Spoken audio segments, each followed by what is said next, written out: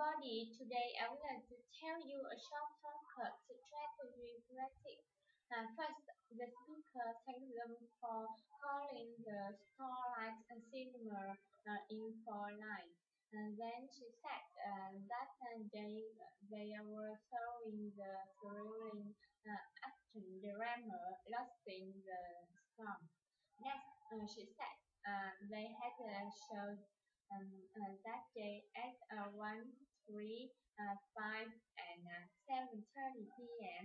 and uh, also before 5 o'clock um, were half price.